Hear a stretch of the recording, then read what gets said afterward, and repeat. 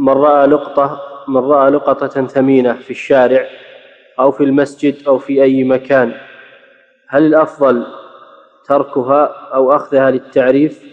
علما بأني كسول في كثير من الأمور. هذا بحسب حال الشخص. إن كان الشخص يأتمن نفسه يثق من نفسه حفظ اللقطة فإنه يأخذها أما إذا كان لا يثق من نفسه فإنه يتركه. أو أيضا إن كان يعرف من نفسه أنه سيصبر على التعب وعلى على التعريف يأخذها. أما إن كان يعرف من نفسه أنه ما يصبر ولا فيتركها. هي عهدة. نعم.